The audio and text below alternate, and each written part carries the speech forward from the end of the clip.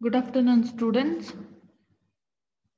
So we today we are going to study about the commercialization of agriculture product, commercialization, uh, commercializing the agriculture sector. Before that, let me ask a few questions.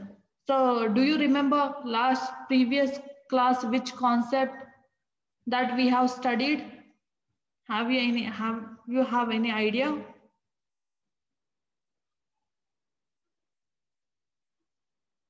So which concept last class we have studied? Okay, reason for stagnation. So we have studied under the agriculture sector. Under the agriculture sector, which and all the problems were there in that?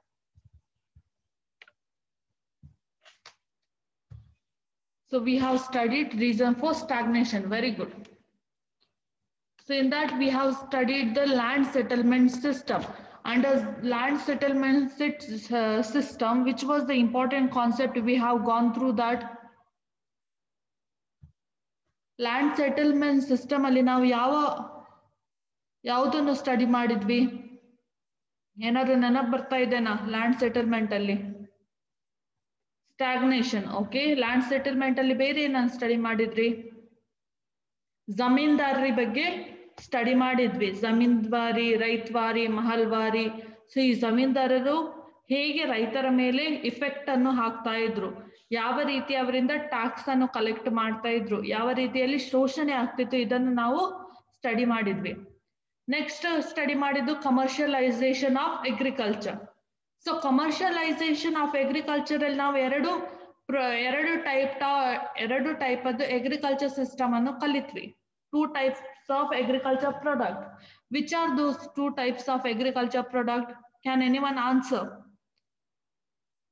very good Rakshita ಒಂದು cash crop ಇನ್ನೊಂದು food crops so ಎರಡು types ಅದು ನಾವು commercial agriculture commercialization of agriculture ಅಲ್ಲಿ ಕಲಿತ್ವಿ. ಅದು cash crops another one is food crops cash crops means those crops which will give only money to the farmers. Food crops means those crops which can use for the food purpose or which we can use directly for the consumption. Cash crops are used for the industry as a raw material.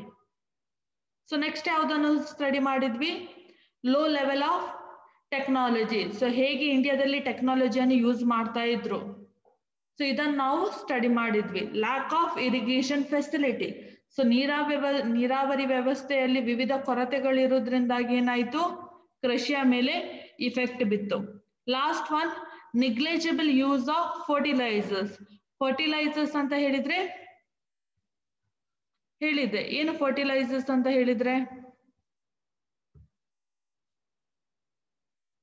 ಏನು ಕೀಟನಾಶಕಗಳಿದೆ ಅಥವಾ ರಸಗೊಬ್ಬರಗಳಿವೆ, ಇವುಗಳ ಕೊರತೆ ಇರುವುದರಿಂದಾಗಿ ಕೃಷಿಯಲ್ಲಿ ಬೆಳೆ ಅಥವಾ ನಾವು ಏನ್ ಹೇಳ್ತೇವೆ, ಎಂತ ರಿಟರ್ನ್ ಬರುತ್ತೆ ನಮ್ಗೆ ಕೃಷಿಯಿಂದ ಅದು ಕೂಡ ಕಡಿಮೆ ಆಗ್ತಾ ಹೋಗ್ತಿತ್ತು. ಇದ್ರ, ಇದು ನಿಮ್ಗೆ ಅರ್ಥ ಆಗಿದ್ದೆ reason for stagnation so stagnation ಅಂತ ಹೇಳಿದ್ರೆ ನಾ ಹೇಳಿದೆ, ಹಿಂಜರಿಕೆ. ಸೊ ಅಗ್ರಿಕಲ್ಚರ್ ಅಲ್ಲಿ ಯಾಕೆಲ್ಲ ಹಿಂಜರಿಕೆ ಆಯ್ತಂತ ಹೇಳಿ. ಈ ಕಾನ್ಸೆಪ್ಟ್ ಅಲ್ಲಿ ಯಾರಿಗಾರು ಡೌಟ್ ಇದೆನಾ?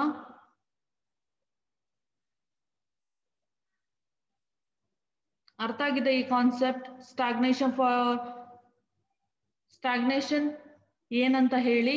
ಯಾಕೆ ಅಗ್ರಿಕಲ್ಚರ್ ಅಲ್ಲಿ ಸ್ಟಾಗ್ನೇಷನ್ ಎಂಬ ಕಾನ್ಸೆಪ್ಟ್ ಬಂತಂತ ಹೇಳಿ?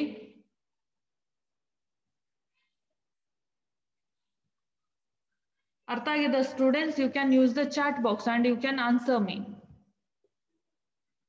so ನೀವು ಎಸ್ ನೋ ಹೇಳದಿದ್ರೆ ನಂಗೆ ನೀವು ಕ್ಲಾಸ್ ಕೇಳ್ತಿದ್ದೀರಾ ಇಲ್ವಾ ಎಂಬುದೇನು ಅರ್ಥ ಆಗುದಿಲ್ಲ. ಸೊ ಅದಕ್ಕೋಸ್ಕರ ಆನ್ಸರ್ ಮಾಡ್ತಾ ಇರಿ. ಓಕೆ ಖಾಲಿ ಚಂದನನಿಗೆ ಮಾತ್ರ ಕ್ಲಾಸ್ ಅರ್ಥ ಆಗಿದೆ. ಉಳ್ದವ್ರು ಯಾರು class ಕೇಳಲಿಲ್ವಾ? Okay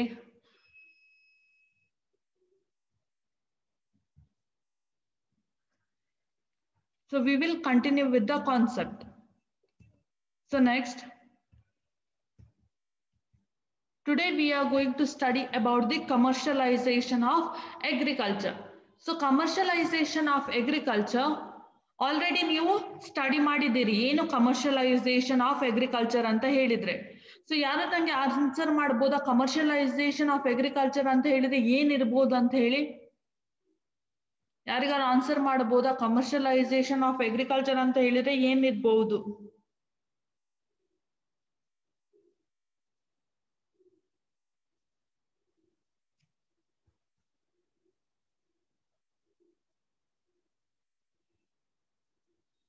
very good it is about the money product yes ಇನ್ಯಾರಾದ್ರೂ ಆನ್ಸರ್ ಮಾಡ್ಬೋದಾ? Cash crops yes so commercialisation ಅಂತ ಹೇಳಿದ್ರೆ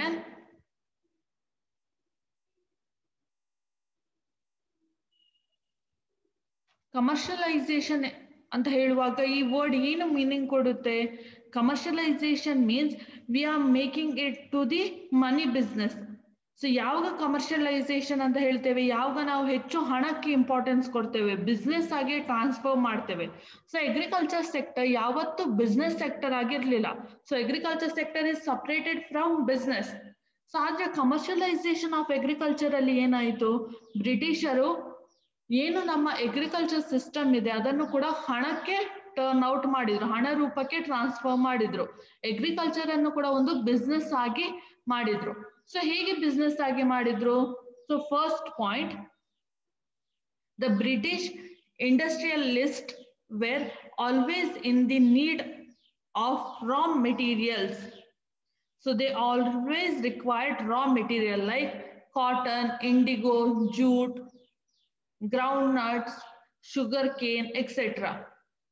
to keep their factories running so ಇಲ್ಲಿ ಇಂಪಾರ್ಟೆಂಟ್ ಯಾವುದು ರಾ ಮೆಟೀರಿಯಲ್ ಸೊ ಯಾರಿಗೆ ರಾ ಮೆಟೀರಿಯಲ್ ಬೇಕಿತ್ತು? ಬ್ರಿಟಿಷ್ ಇಂಡಸ್ಟ್ರಿಯಲಿಸ್ಟ್ಗೆ ಸೊ ಇಂಡಿಯಾದವರಿಗೆ ರಾ ಮೆಟೀರಿಯಲ್ ಬೇಡ ಇತ್ತು. ಸೊ ಅದಕ್ಕೋಸ್ಕರ ಬ್ರಿಟಿಷರು ಬರುವ ತನಕ ಇಂಡಿಯಾದಲ್ಲಿ ಯಾವುದೇ ಇಂಥ ಕ್ಯಾಶ್ ಕ್ರಾಪ್ಸ್ಗಳನ್ನು ಪ್ರೊಡ್ಯೂಸ್ ಮಾಡಲಿಲ್ಲ. ಸೊ ಯಾವಾಗದಿಂದ ಸ್ಟಾರ್ಟ್ ಮಾಡಿದ್ರು? ಯಾವಾಗ ಬ್ರಿಟಿಷರು ಭಾರತಕ್ಕೆ ಎಂಟರ್ ಆದ್ರು? ಆ ನಂತರ. ಸೊ ಯಾಕೆ ಭಾರತದಲ್ಲಿ ಅವರು ರಾ ಮೆಟೀರಿಯಲ್ ಅನ್ನು ಪ್ರೊಡ್ಯೂಸ್ ಮಾಡ್ಲಿಕ್ಕೆ ಅಥವಾ ಕ್ಯಾಶ್ ಕ್ರಾಪ್ಸ್ ಅನ್ನು ಪ್ರೊಡ್ಯೂಸ್ ಮಾಡ್ಲಿಕ್ಕೆ ಸ್ಟಾರ್ಟ್ ಮಾಡಿದ್ರು ಯಾಕಂತ ಹೇಳಿದ್ರೆ ಈ ಬ್ರಿಟಿಷ್ ಬ್ರಿಟಿಷ್ ಇಂಡಸ್ಟ್ರಿಯಲಿಸ್ಟ್ ಏನಿದ್ದಾರೆ ಅವರಿಗೆ ರಾ ಮೆಟೀರಿಯಲ್ಸ್ ಬೇಕಿತ್ತು. ಸೊ ಯಾಕೆ ರಾ ಮೆಟೀರಿಯಲ್ಸ್ ಬೇಕಿತ್ತು? ಯಾಕಂತ ಹೇಳಿದ್ರೆ ಪ್ರೀವಿಯಸ್ ಕಾಲ ಕ್ಲಾಸ್ ಅಲ್ಲಿ ನಾನು ನಿಮ್ಗೆ ಹೇಳಿದ್ದೆ. ಬ್ರಿಟಿಷರು ಇಂಡಸ್ಟ್ರಿಗಳನ್ನು ಓಪನ್ ಮಾಡಿದ್ರು. ಎಲ್ಲಿ ಇಂಡಸ್ಟ್ರಿಗಳ ಕ್ರಾಂತಿ ಆಗಿತ್ತು? ಎಲ್ಲಿ ಇಂಡಸ್ಟ್ರಿಗಳನ್ನು ಓಪನ್ ಮಾಡಿದ್ರು ಬ್ರಿಟಿಷರು ಯಾರಾದ್ರೂ ಆನ್ಸರ್ ಮಾಡ್ಬೋದಾ? ಬ್ರಿಟಿಷರು ಎಲ್ಲಿ ಇಂಡಸ್ಟ್ರಿಗಳನ್ನು ಓಪನ್ ಮಾಡಿದ್ರು?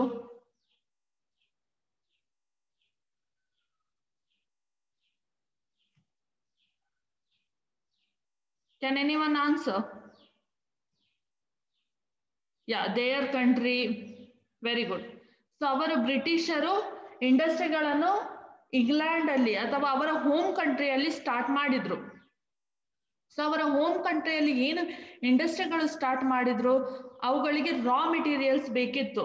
ಸೊ ಅವರ ದೇಶದಲ್ಲಿ ಅವರು ರಾ ಮೆಟೀರಿಯಲ್ ಅನ್ನು ಪ್ರೊಡ್ಯೂಸ್ ಮಾಡ್ಲಿಕ್ಕೆ ಅಂತ ಸೂಕ್ತ ವೆದರ್ ಅಥವಾ ಏನು ನಾವು ಹೇಳ್ತೇವೆ, ಭೂಮಿಯ ಫಲವತ್ತತೆ ಇರ್ಲಿಲ್ಲ. ಸೊ ಅದಕ್ಕೋಸ್ಕರ ಅವ್ರು ಏನ್ ಮಾಡ್ತಿದ್ರು, ಈ ರಾ ಮೆಟೀರಿಯಲ್ ಅನ್ನು ಹುಡುಕ್ತಾ ಇದ್ರು. ಸೊ ಎಲ್ಲಿಂದ ನಮ್ಗೆ ರಾ ಮೆಟೀರಿಯಲ್ ಸಿಗುತ್ತೆ ಅಂತ ಹೇಳಿ. ಸೊ ಇಂಡಿಯಾಕ್ಕೆ ಬಂದಾಗ ಏನಾಯ್ತು ಈಸಿಯಾಗಿ ಅವರು ಇಂಡಿಯಾವನ್ನು ಪೊಲಿಟಿಕಲ್ ಆಗಿ ಲೀಡ್ ಮಾಡ್ಲಿಕ್ಕೆ ಸ್ಟಾರ್ಟ್ ಮಾಡಿದ್ರು. ಪೊಲಿಟಿಕಲ್ ಆಗಿ ಲೀಡ್ ಮಾಡುದಂತ ಹೇಳಿದ್ರೆ ಒಂದು ಕಂಟ್ರಿ ಇನ್ನೊಂದು ಕಂಟ್ರಿಯ ಕೊಲೋನಿಯಾಗಿ ಟ್ರಾನ್ಸ್ಫರ್ ಮಾಡುದು. ಸೊ ಸ್ಟಾರ್ಟಿಂಗ್ ಅಲ್ಲೇ ನಾವು ನೋಡಿದ್ವಿ. ಏನ್ ಮಾಡಿದ್ರು ಬ್ರಿಟಿಷರು? ಇಂಡಿಯಾವನ್ನು ಪೊಲಿಟಿಕಲ್ ವೇಯಲ್ಲಿ ರೂಲ್ ಮಾಡ್ಲಿಕ್ಕೆ ಸ್ಟಾರ್ಟ್ ಮಾಡಿದ್ರು. ಯಾವಾಗ ಅವರು ಪೊಲಿಟಿಕಲ್ ವೇಯಲ್ಲಿ ರೂಲ್ ಮಾಡ್ಲಿಕ್ಕೆ ಸ್ಟಾರ್ಟ್ ಮಾಡಿದ್ರ? ಸೊ ಇಂಡಿಯಾದಲ್ಲಿ ಅಗ್ರಿಕಲ್ಚರ್ ಪ್ರಾಡಕ್ಟ್ ವನ್ನು ಬಿಟ್ಟು ಕಮರ್ಷಿಯಲ್ ಪ್ರಾಡಕ್ಟ್ ಅನ್ನು ಇಂಟ್ರಡ್ಯೂಸ್ ಮಾಡಿದ್ರು. ಅದಿರ್ಬೋದು ರಾ ಮೆಟೀರಿಯಲ್ಸ್ ಅನ್ನು ಕ್ಯಾಶ್ ಕ್ರಾಪ್ಸ್ ಅನ್ನು ಇಂಟ್ರಡ್ಯೂಸ್ ಮಾಡಿದ್ರು.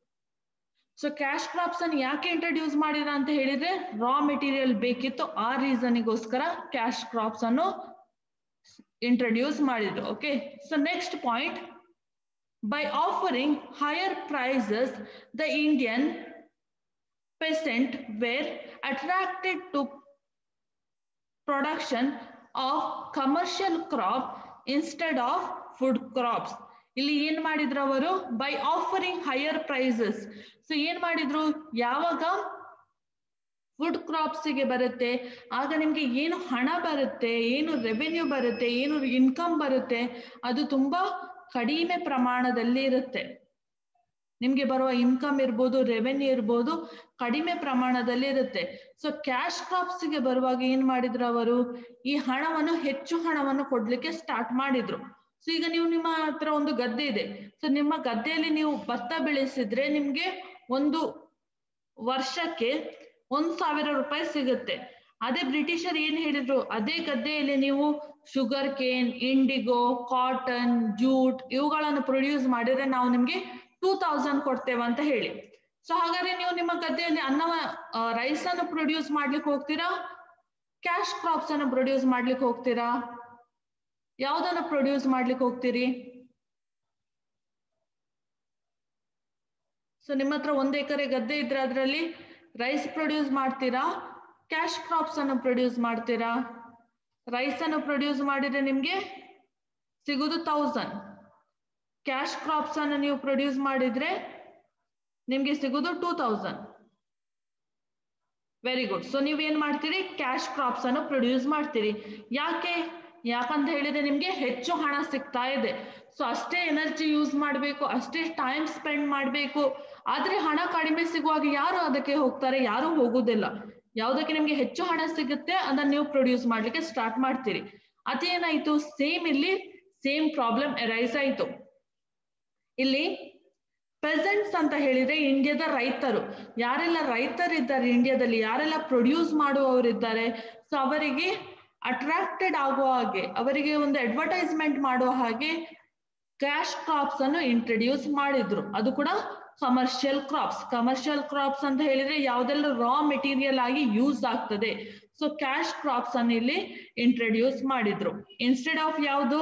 ಫುಡ್ ಕ್ರಾಪ್ಸ್ನ ಬದಲು ಕ್ಯಾಶ್ ಕ್ರಾಪ್ಸ್ ಅನ್ನು ಇಂಟ್ರಡ್ಯೂಸ್ ಮಾಡಿದ್ರು. ಓಕೆ ಸೆಕೆಂಡ್ ಪಾಯಿಂಟ್ ಆಯ್ತು. Next third point the extent of commercial agriculture went to so far as to make many peasants purchase their food requirement from shop in towns so ಈಗ food ಕ್ರಾಪ್ಸಿಗೆ ಏನಾಯ್ತು? So ನಿಮ್ಗೆ ಈಗ ಒಂದು ಎಕರೆ land ಇದೆ. So ಒಂದು ಎಕರೆ land ಒಂದೇ ನೀವು ರೈಸ್ ಪ್ರೊಡ್ಯೂಸ್ ಮಾಡ್ಬೋದು. ಅಥವಾ ಆ ಒಂದು ಎಕರೆಯಲ್ಲಿ ನೀವು ಕ್ಯಾಶ್ ಕ್ರಾಪ್ಸ್ ಅನ್ನು ಪ್ರೊಡ್ಯೂಸ್ ಮಾಡಬಹುದು ಎರಡನ್ನು ಒಂದೇ ಗದ್ದೆಯಲ್ಲಿ ಒಂದೇ ಟೈಮಲ್ಲಿ ನಿಮ್ಗೆ ಪ್ರೊಡ್ಯೂಸ್ ಮಾಡ್ಲಿಕ್ಕೆ ಆಗುತ್ತಾ ಒಂದೇ ಹೊಲದಲ್ಲಿ ಎರಡು ಬೆಳೆಗಳನ್ನು ಒಂದೇ ಟೈಮಲ್ಲಿ ನಿಮ್ಗೆ ಪ್ರೊಡ್ಯೂಸ್ ಮಾಡ್ಲಿಕ್ಕೆ ಆಗುತ್ತಾ ಇಲ್ಲ, ನಿಮ್ಗೆ ಪ್ರೊಡ್ಯೂಸ್ ಮಾಡ್ಲಿಕ್ಕೆ ಆಗುದಿಲ್ಲ ಯಾವ್ದಾದ್ರು ಒಂದನ್ನೇ ನೀವು ಪ್ರೊಡ್ಯೂಸ್ ಮಾಡಬೇಕು. ಸೊ ಹಾಗಾಗಿ ಜನರು ಏನ್ ಮಾಡಿದ್ರು? ಯಾವ್ದವರಿಗೆ ಲಾಭ ಕೊಡ್ತಾ ಉಂಟು? ಕ್ಯಾಶ್ ಕ್ರಾಪ್ಸ್ ಅನ್ನು ಪ್ರೊಡ್ಯೂಸ್ ಮಾಡ್ಲಿಕ್ಕೆ ಸ್ಟಾರ್ಟ್ ಆಯ್ತು. ಸೊ ಕ್ಯಾಶ್ ಕ್ರಾಪ್ಸ್ ಅನ್ನು ಯಾವಾಗ ಪ್ರೊಡ್ಯೂಸ್ ಮಾಡಿದ್ರು ಆಟೋಮೆಟಿಕ್ ಆಗಿ ರೈಸ್ ಪ್ರೊಡಕ್ಷನ್ ಅಥವಾ ಆಹಾರ ಪದಾರ್ಥಗಳ ಉತ್ಪಾದನೆ ಅಲ್ಲಿಗೆ ನಿಂತು ಹೋಯ್ತು. ಸೊ ಇದರಿಂದಾಗಿ ಈಗ ನೀವು ಕ್ಯಾಶ್ ಕ್ರಾಪ್ಸ್ ಅನ್ನು ಪ್ರೊಡ್ಯೂಸ್ ಮಾಡ್ತಾ ಇದ್ದೀರಿ. ಆದ್ರೆ ನಿಮ್ಗೆ ಅದು ಊಟ ಕೊಡುತ್ತಾ ಇಲ್ಲ. ಸೊ ನೀವೇನ್ ಮಾಡ್ಬೋದು? ಅದನ್ನು ಮಾರ್ಕೆಟ್ಗೆ ಮಾರಾಟ ಮಾಡಿ ಏನು ಹಣ ಬರುತ್ತೆ? ಅದರಿಂದ ನೀವೀಗ ಆಹಾರ ಧಾನ್ಯಗಳನ್ನು ಪರ್ಚೇಸ್ ಮಾಡಬೇಕು. ಸೊ ಜನರು ಏನ್ ಮಾಡಿದ್ರು?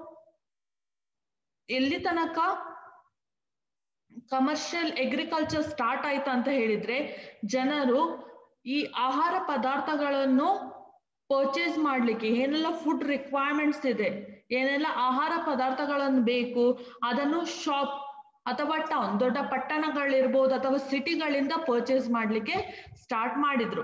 ಸೊ ಯಾಕೆ ಸಿಟಿಗಳಿಂದ ಪರ್ಚೇಸ್ ಮಾಡ್ಲಿಕ್ಕೆ ಸ್ಟಾರ್ಟ್ ಮಾಡಿದ್ರು? ಯಾಕಂತ ಹೇಳಿದ್ರೆ ಅವರ ಹತ್ರ ಏನೆಲ್ಲ ಹೊಲ ಇದೆ, ಏನೆಲ್ಲ ಗದ್ದೆ ಇದೆ, ಅದರಲ್ಲಿ ರೈಸ್ ಅನ್ನು ಬಿಟ್ಟು ಕಮರ್ಷಿಯಲ್ ಕ್ರಾಪ್ಸ್ ಕ್ಯಾಶ್ ಕ್ರಾಪ್ಸ್ ಅನ್ನು ಪ್ರೊಡ್ಯೂಸ್ ಮಾಡ್ಲಿಕ್ಕೆ ಸ್ಟಾರ್ಟ್ ಮಾಡಿದ್ರು.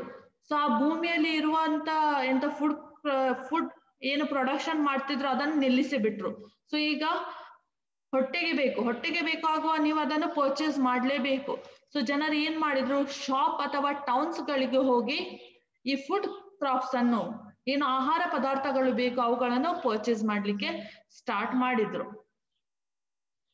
ಸೊ ಇಲ್ಲಿ ಫೋರ್ತ್ ಪಾಯಿಂಟ್ ಇಲ್ಲಿ ಥರ್ಡ್ ಪಾಯಿಂಟ್ ಅಲ್ಲಿ ನಿಮ್ಗೆ ಏನು ಹೇಳ್ತದಂತ ಹೇಳಿದ್ರೆ people started to produce commercial crops to the extent so that there were no availability of food crops in their places So they move toward shops or the towns in search of food requirements.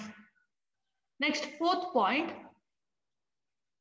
This fall in the production of food crops was responsible for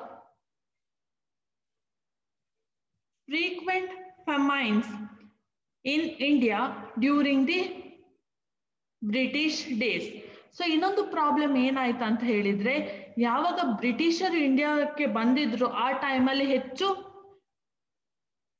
famine famine ಅಂತ ಹೇಳಿದ್ರೆ ಅನಾಹುತಗಳು. So ಯಾವ್ದೆಲ್ಲ ಅನಾಹುತಗಳಿರ್ಬೋದು?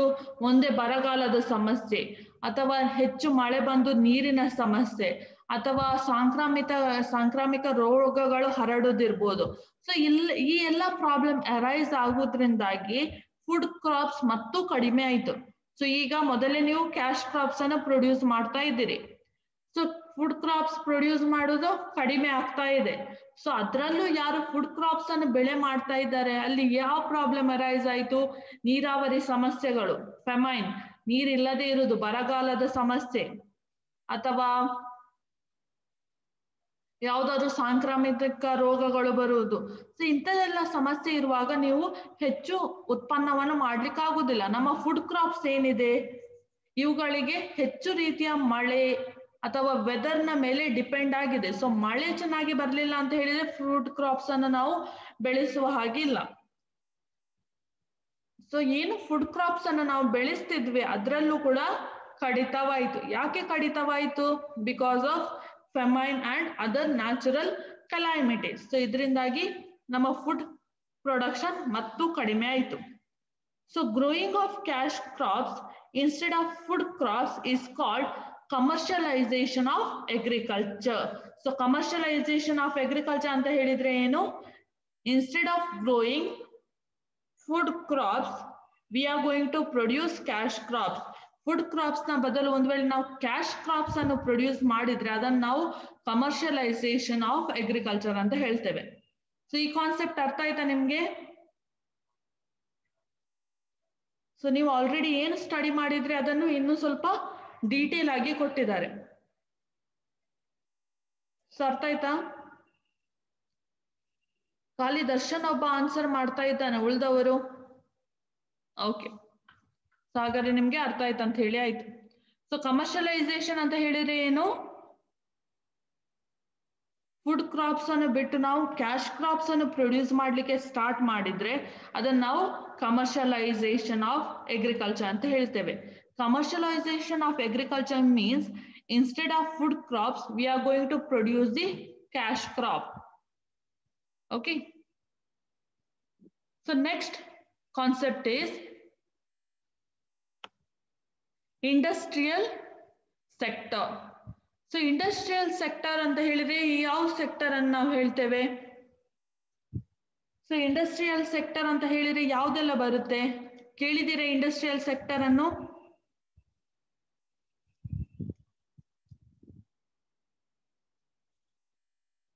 S so ಹಾಗಾದ್ರೆ industrial sector ಅಂತ ಹೇಳುವಾಗ ಯಾವ್ದೆಲ್ಲ ಬರುತ್ತೆ?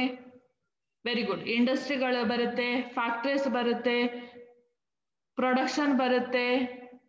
Very good so industrial sector ಅಂತ ಹೇಳಿದ್ರೆ ಕೈಗಾರಿಕಾ ಕ್ಷೇತ್ರ ಅಂತ ಹೇಳ್ತೇವೆ. So basically in industrial sector we will use more machines buildings raw materials and we will produce the output when it comes to industrial sector we required more amount of electrical energy more amount of buildings machines. So labors we will use but compared to agriculture sector we will use less labors in the industrial sector.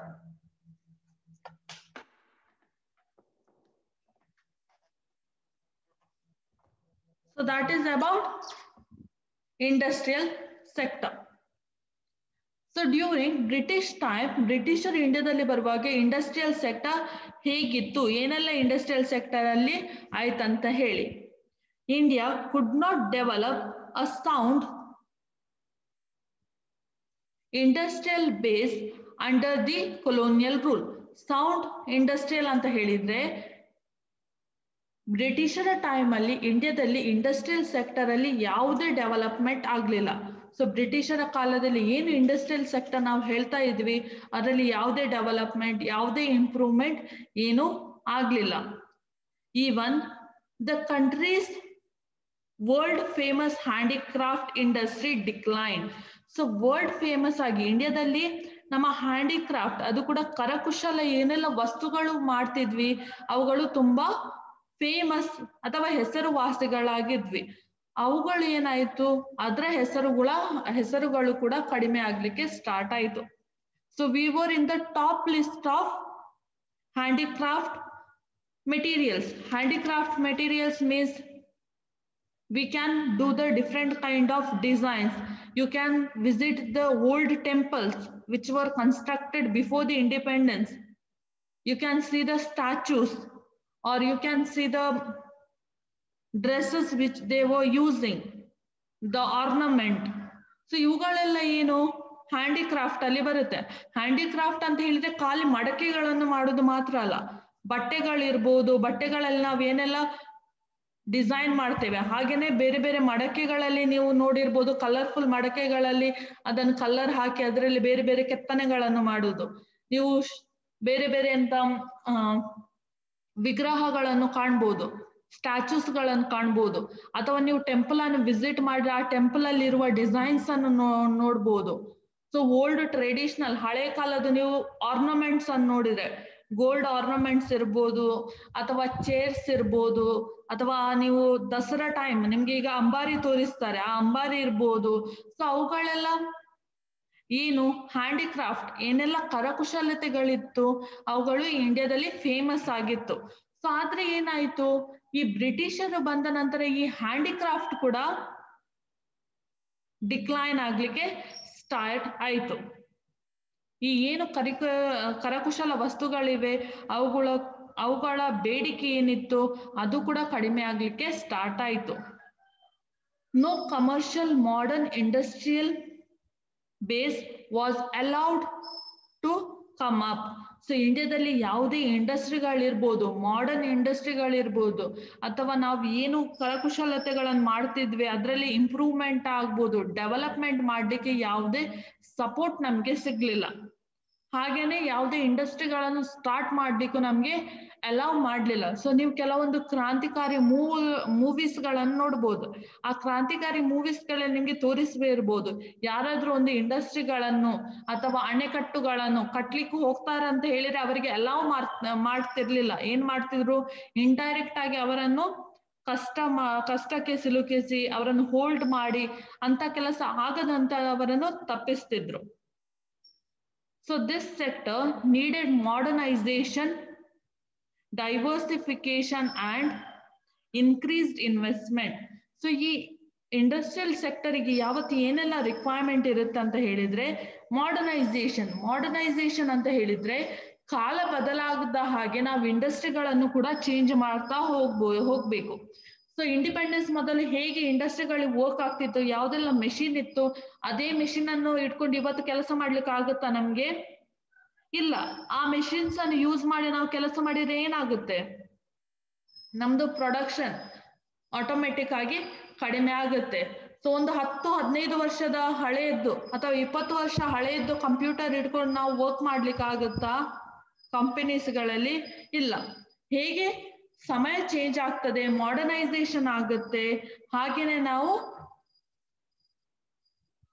ಈ machines ಇರ್ಬೋದು, ಅವುಗಳನ್ನು update ಮಾಡ್ತಾ ಇರಬೇಕು. Update ಮಾಡೋದಿದ್ರೆ ಏನಾಗುತ್ತೆ? ನಮ್ಗೆ loss ಹೇಗೆ loss ಆಗುತ್ತೆ? ಉಳಿದವರು ಹತ್ತು ಪಟ್ಟು ನಮ್ಗಿಂತ ಹೆಚ್ಚು ಉತ್ಪಾದನೆ ಮಾಡುವಾಗ ನಾವು ಖಾಲಿ ಒಂದು, ಎರಡು ಐಟಮ್ ಅನ್ನು ಪ್ರೊಡ್ಯೂಸ್ ಮಾಡಿ ಅಲ್ಲಿಗೆನೆ ಸ್ಟಾಪ್ ಆಗ್ತೇವೆ. ನೆಕ್ಸ್ಟ್ ಡೈವರ್ಸಿಫಿಕೇಶನ್ ಸೊ ಡೈವರ್ಸಿಫಿಕೇಶನ್ ಅಂತ ಹೇಳಿದ್ರೆ ಕೆಲಸವನ್ನು ಡಿವೈಡ್ ಮಾಡ್ಲಿಕ್ಕೆ ನಮ್ಗೆ ಗೊತ್ತಿರಬೇಕು. ಸೊ ಒಂದು ಕೆಲಸವನ್ನು ಯಾರಿಗೆ ಕೊಡ್ಬೇಕು? ಆ ಕೆಲಸದಲ್ಲಿ ಎಷ್ಟು ಜನರು ಬೇಕು? ಸೊ ಹೇಗೆ ಆ ಕೆಲಸವನ್ನು ಮಾಡ್ಕೊಳ್ಳೋದು? ಸೊ ಹೇಗೆ ನಾವು ಆ ಕೆಲಸವನ್ನು ಇಂಪ್ರೂವ್ ಮಾಡ್ಬೋದು? ಸ್ಕಿಲ್ಸ್ಗಳ ಮೂಲಕ. ಒಂದು ಕೆಲಸವನ್ನು ಮಾಡ್ಲಿಕ್ಕೆ ಸ್ಕಿಲ್ಸ್ ಇಲ್ಲದಿದ್ರೆ, ಅದನ್ನು ಹೇಗೆ ಮಾಡುದಂತ ಗೊತ್ತಿಲ್ಲದಿದ್ರೆ ಕಷ್ಟಕರ. ಸೊ ಒಬ್ಬ ಲ್ಯಾಪ್ಟಾಪ್ ಅಥವಾ ಕಂಪ್ಯೂಟರ್ ಕಲ್ತು, ಆ ಆಪರೇಟ್ ಮಾಡಿದ್ದು, ಗೊತ್ತಿದ್ದು, ಅವನು ಕೆಲಸ ಮಾಡುವುದಕ್ಕೂ ಯಾರಿಗೆ ಆ ಕಂಪ್ಯೂಟರ್ ಬಗ್ಗೆ ಇನ್ಫಾರ್ಮೇಶನ್ ಇಲ್ಲ. ಅವನ ಆ ಕಂಪ್ಯೂಟರ್ ಅಲ್ಲಿ ವರ್ಕ್ ಮಾಡೋದಕ್ಕೂ ಡಿಫ್ರೆನ್ಸ್ ಇದೆ. ವರ್ಕಿಂಗ್ ಟೈಮ್ ಏನಿದೆ, ಅದು ಚೇಂಜ್ ಆಗುತ್ತೆ. So that is also important last increased investment ಅಂತ ಹೇಳಿದೆ, ಹಣ. ಈ ಇಂಡಸ್ಟ್ರಿಯಲ್ ಸೆಕ್ಟರಿಗೆ ಹಣ ತುಂಬಾ ಬೇಕು. ಯಾಕೆ ಹಣ ಬೇಕು? ಯಾಕಂತ ಹೇಳಿದ್ರೆ ನಾವು ಇಂಡಸ್ಟ್ರಿಗಳನ್ನು ರನ್ ಮಾಡ್ಲಿಕ್ಕೆ ಮೆಷಿನ್ಸ್ ಅನ್ನು, ಹೊಸ ಹೊಸ ಮೆಷಿನ್ಸ್ ಅನ್ನು ಪರ್ಚೇಸ್ ಮಾಡಬೇಕು. ಆ ಮೆಷಿನ್ಸ್ ಅನ್ನು ಆಗಾಗ ಮೇಂಟೈನ್ ಮಾಡ್ತಾ ಇರಬೇಕು. ಅದ ಮೆಷಿನ್ ಬಗ್ಗೆ ಯಾರಿಗೆ ಇನ್ಫಾರ್ಮೇಶನ್ ಇದೆ, ಅವುಗಳನ್ನ ನಾವು, ಅವರನ್ನ ನಾವು ಅಪಾಯಿಂಟ್ ಮಾಡಬೇಕು. ವೆರಿ ಗುಡ್ ಫ್ಯೂಲ್ ಬೇಕು ನಮ್ಗೆ ಎನರ್ಜಿ ಬೇಕು ಎಲೆಕ್ಟ್ರಿಸಿಟಿ ಬೇಕು. ಸೊ ಇದೆಲ್ಲ ಏನಾಯ್ತು? ಇಂಡಸ್ಟ್ರಿಯಲ್ ಸೆಕ್ಟರ್ ಅಲ್ಲಿ ಬ್ರಿಟಿಷರ ಟೈಮ್ ಅಲ್ಲಿ ಆಬ್ಸೆನ್ಸ್ ಇತ್ತು. ಆಬ್ಸೆನ್ಸ್ ಅಂತ ಹೇಳಿದ್ರೆ ಮಾಡರ್ನೈಸೇಷನ್ ಇರ್ಬೋದು ಡೈವರ್ಸಿಫಿಕೇಶನ್ ಇರ್ಬೋದು ಇನ್ವೆಸ್ಟ್ಮೆಂಟ್ ಇರ್ಬೋದು, ಇವುದಕ್ಕೆ ಯಾವುದೇ ಇಂಪಾರ್ಟೆನ್ಸ್ ಅವರು ಕೊಡ್ಲಿಲ್ಲ. ಯಾವುದೇ ಇಂಪಾರ್ಟೆನ್ಸ್ ಇಲ್ಲದ ಕಾರಣ ಆಗಿ ಏನಾಯ್ತು? ಯಾವುದೇ ಡೆವಲಪ್ಮೆಂಟ್ ಆಗ್ಲಿಕ್ಕೆ ಸಾಧ್ಯ ಆಗ್ಲಿಲ್ಲ. ಸೊ ಇಲ್ಲಿ ನಿಮ್ಗೊಂದು ಪಿಕ್ಚರ್ ಕಾಣ್ತಾ ಇದೆ. ಸೊ ಆ ಪಿಕ್ಚರ್ ಅಲ್ಲಿ ನೀವು ನೋಡಿರ್ಬೋದು ಇಂಡಿಯಾದು ಬೇರೆ ಬೇರೆ ಕ್ರಾಫ್ಟ್ ಅದಿರ್ಬೋದು, ಮೂರ್ತಿಗಳು ಅಥವಾ ಒಂದು ಮಗ ಮಡಕೆಯನ್ನು ಡೆಕೋರೇಟ್ ಮಾಡ್ತಾ ಇದ್ದಾರೆ. ಬೇರೆ ಬೇರೆ ವಾದ್ಯಗಳಿರ್ಬೋದು. ಸೊ ನೀವು ಬೇರೆ ಬೇರೆ ಎಂತ ಬಟ್ಟೆಗಳ ಮೆಟೀರಿಯಲ್ ನೋಡಿರ್, ನೋಡ್ಬೋದು. ಸೊ ಬಟ್ಟೆಗಳನ್ನು ಇಲ್ಲಿ ಮದುವೆ ಆಗ್ತಾ ಇದ್ದಾರೆ. ಸೊ ಇವರ ಬಟ್ಟೆಗಳನ್ನು ಆರ್ನಮೆಂಟ್ಗಳನ್ನು ಇವುಗಳನ್ನು ನೀವು ನೋಡ್ಬೋದು. ಸೊ ಇವುಗಳೆಲ್ಲ ಎಂತ ನಮ್ಮ ದೇಶದ ಕ್ರಾಫ್ಟ್ ಸೊ ಇದಕ್ಕೆ ನಾವು ಫೇಮಸ್ ಆಗಿದ್ದೇವೆ. ಸೊ ಅವುಗಳೆಲ್ಲ ಡೆವಲಪ್ ಆಗ್ಲಿಕ್ಕೆ ಯಾವಾಗ ಸಾಧ್ಯ ಆಗ್ಲಿಲ್ಲ? ಬ್ರಿಷ ಬ್ರಿಟಿಷರ ಟೈಮ್ಗೆ ಈ ಎಲ್ಲಾ ಕೆಲಸಗಳಿಗೆ ಯಾವುದೇ ಅವಕಾಶ ಸಿಗ್ಲಿಲ್ಲ.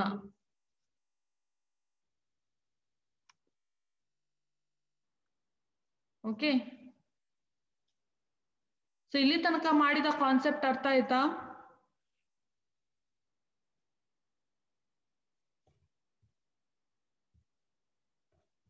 ಇಲ್ಲಿ ತನಕ ಮಾಡಿದ ಕಾನ್ಸೆಪ್ಟ್ ಅರ್ಥ ಆಯ್ತಾ? ಯಾರಿಗಾದ್ರು ಡೌಟ್ ಇದೆನಾ? ಓಕೆ ಸೊ ಹಾಗಾದ್ರೆ ಇವತ್ತು ಏನೆಲ್ಲ ಸ್ಟಡಿ ಮಾಡಿದ್ವಿ ನಾವು?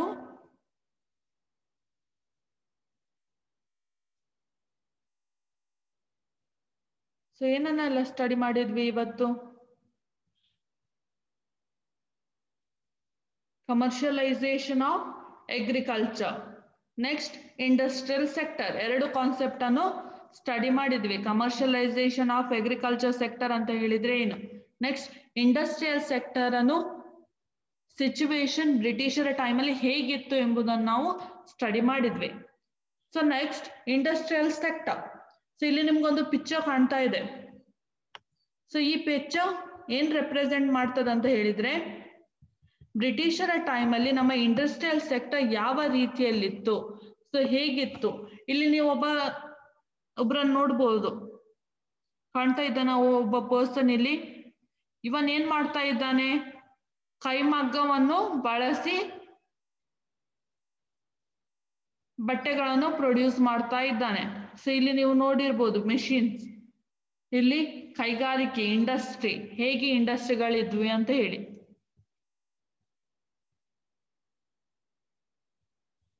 So Shivani which fourth point you want to know so ಈ ಇಂಡಸ್ಟ್ರಿಯಲ್ ಸೆಕ್ಟರ್ ಅಲ್ಲಿ ಫೋರ್ತ್ ಪಾಯಿಂಟಾ ಆರ್ ಕಮರ್ಷಿಯಲೈಸೇಷನ್ ಓಕೆ ಸೊ ಈ ಫೋರ್ತ್ ಪಾಯಿಂಟ್ ಏನು ಎಕ್ಸ್ಪ್ಲೇನ್ ಮಾಡ್ತದ ಅಂತ ಹೇಳಿದ್ರೆ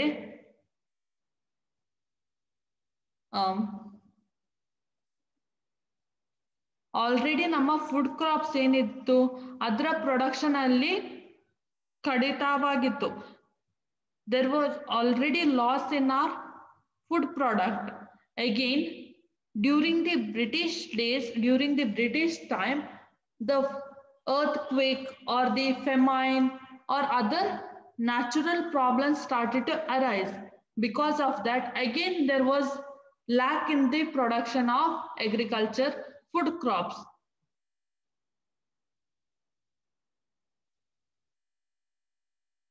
Shivani ಅರ್ಥ ಆಯ್ತಾ ಕಾನ್ಸೆಪ್ಟ್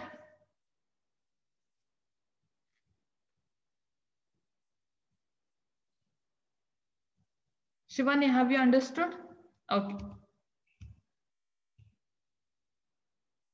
So next ಕ್ಲಾಸಲ್ಲಿ ನಾವು ಏನು ಸ್ಟಡಿ ಮಾಡ್ತೇವೆ ಅಂತ ಹೇಳಿದ್ರೆ ಇಂಡಸ್ಟ್ರಿಯಲ್ ಸೆಕ್ಟರ್ ಹೇಗೆಲ್ಲ ವರ್ಕ್ ಆಗ್ತಿತ್ತು ಯಾವುದೆಲ್ಲ ಇಂಡಸ್ಟ್ರಿಗಳನ್ನು ಬ್ರಿಟಿಷರು ಇಂಡಿಯಾದಲ್ಲಿ ಸ್ಟಾರ್ಟ್ ಮಾಡಿದ್ರು ಇಂಡಸ್ಟ್ರಿ ರಿಲೇಟೆಡ್ ಆದ ಯಾವುದೆಲ್ಲ ಪಾಲಿಸಿಗಳನ್ನು ಅಡಾಪ್ಟ್ ಮಾಡಿದ್ರು ಅದನ್ನೆಲ್ಲ ನಾವು ಸ್ಟಡಿ ಮಾಡ್ಲಿಕ್ಕೆ ಹೋಗೋದು ನೆಕ್ಸ್ಟ್ ಕಾನ್ಸೆಪ್ಟ್ ಅಲ್ಲಿ ಸೊ ಇವತ್ತು ಮಾಡಿದ ಕಾನ್ಸೆಪ್ಟ್ ಅಲ್ಲಿ ಯಾರಿಗಾದ್ರು ಯಾವ್ದಾದ್ರು ಡೌಟ್ ಇದೆನಾ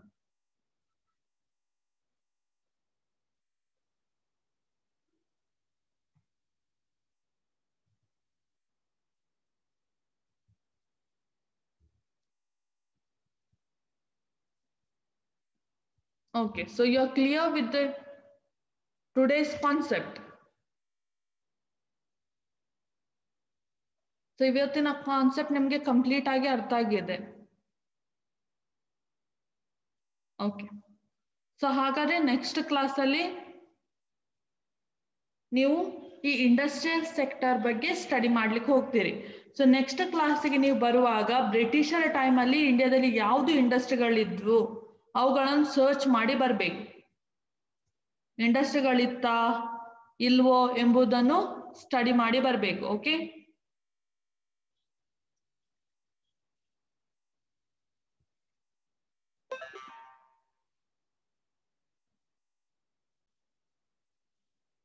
ಇವತ್ತಿನ ಕ್ಲಾಸ್ ನಾವು ಇಲ್ಲಿಗೆ ಸ್ಟಾಪ್ ಮಾಡ್ತಾ ಇದ್ದೇವೆ.